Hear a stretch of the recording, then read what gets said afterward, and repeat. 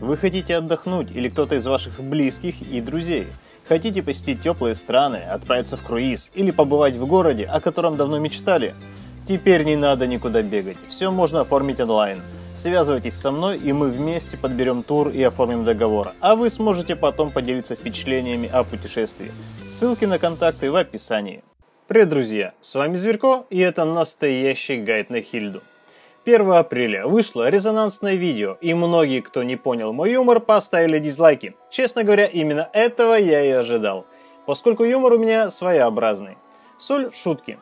Я рассказываю настоящий гайд на латыни, и по стечению обстоятельств и слов случайно попадаю в ад к мракобесам. Кадры были взяты из фильма «Константин. Повелитель тьмы» 2005 года. Те, кто оценил шутку после объяснения, может исправить дизлайк и поставить лапку. Теперь к гайду. Да, этого борца подвезли давно, и гайды были на Хильду.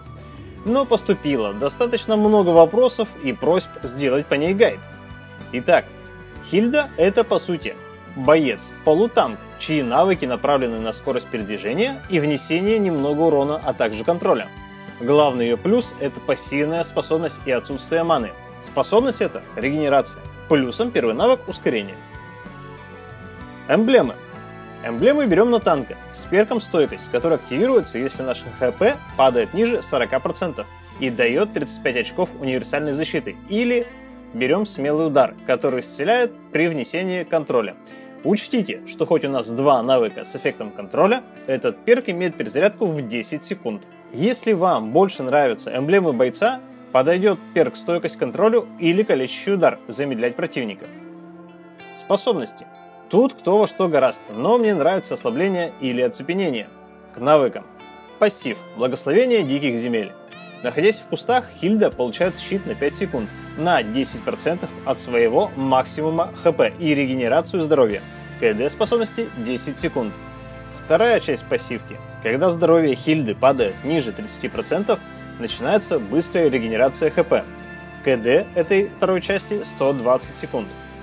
Этот навык то, за что Хильду и любят. Постоянный отхил, бесплатный щит и сейв в критической ситуации, который еще и стакается с другими подобными сейвами от предметов. Первый навык. Боевой ритуал. Хильда ускоряется на 30% длительностью в 3 секунды и может нанести удар, который поразит не только цель, но и врагов за спиной цели. Это навык базового перемещения. Благодаря ему мы легко достигаем магов и стрелков в задних рядах. Именно поэтому Хильда – настоящее проклятие для Заска, Паши и Адетты, поскольку два следующих навыка обладают микроконтролем. Предпочитаю качать этот навык в приоритете. Второй навык – искусство охоты – Хильда за короткое время наносит три удара, притом подпрыгивая к цели каждый раз. Первый удар – это подшаг, второй удар наносит урон соперникам вокруг цели, третий удар немного отталкивает.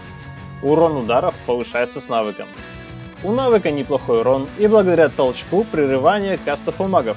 Урон, догонялка и контроль в одном флаконе – это мощно. Ульта – дикая сила – Хильда совершает убийственный прыжок к противнику, нанося ощутимый урон и оглушая на короткое время. 60% урона получают противники вокруг цели. Кроме того, убивая или участвуя в убийстве героев, Хильда получает стаки ульты. От стаков возрастает урон, а накопив максимум стаков, ульта при нанесении урона игнорирует 40% физической брони цели. Этот навык внушает страх не только своей мощью, но и прерыванием и тем, что эта накачанная баба вновь оказывается рядом. Теперь поговорим о сборке. При вводе Хильды в игру также был введен топор кровожадности, который дает отхил от способностей, и на первых порах он вполне подходил для Хильды. Но потом и топор немного понерфили и апнули Оракула, переведенного как божественное вдохновение. Вообще, хочу напомнить, что сборки танков зависят от пика противника, Кого больше или кто опаснее, от того и защищаемся. Что делают предметы, можно посмотреть в ML-фактах на канале. Итак, сапоги воина добавят стартовой защиты. Божественное вдохновение отлично соединяется с отхилом от пассивки. Пользоваться так. Получаем тычок от крипа и бежим в кусты хилиться. Предмет гигантски увеличивает нашу живучесть, защищает от магии, да еще КД уменьшает на 10%. Проклятый шлем увеличивает защиту от магии и добавит урона в минуту по противнику, пока мы находимся рядом. Щит Афины стакается с щитом пассивки. Пока с нас сбивают щит, мы регенерируем. Против физиков пригодятся шипованная броня или стальное сердце. Шипованная броня будет возвращать автоатаку, а стальное сердце уменьшит криты. Последним берем или пришествие демона, или бессмертие. Тут кому что по вкусу. Тактика. Хильда — это офф-танк, который вносит сумятицу в ряды дамагеров противника. Она имеет возможность влететь в задние ряды и прервать ульту Горда или Адетты, гоняться за Заском, отгоняя его от порождения. Кроме этого, способна еще и выйти из задних рядов живой. КД первого навыка вполне это позволяет, даже с учетом мини-нерфа в последнем обновлении. Хильды можно играть агрессивно, особенно в тактике 1-1-3, влетая на линию, убивая крипов и не просаживаясь в ПХП, поскольку кусты дают и щит, и отхил. Выбежали, нанесли удары, отошли в кусты, крипы последуют за вами. Итог. Вы в кустах под фактически постоянным щитом и отхилом. А значит, спокойно встретите противника с full хп. Ваша инициация начинается с кустов.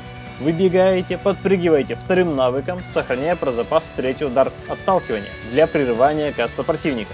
Если противник бежит, применяйте первый навык, чтобы догнать, и ульту, чтобы добить или прерывать каст файте, если противник не отступает, а упорно дерется с вами, потихоньку подходите к кустам и продолжаете бой. Кусты будут по КД накидывать вам щит, 10% от вашего максимального хп, плюсом хилить вас.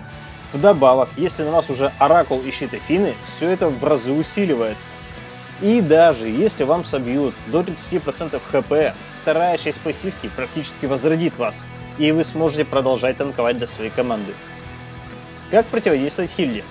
Во-первых, антихил, во-вторых, пробитие и в-третьих, контроль накидывайте, когда она не в кустах. А теперь, друзья, напишите в комментариях, чьи изменения рассмотреть в следующем видео. Виксаны, Алисы или Москова. Ставьте лапки и всем пока!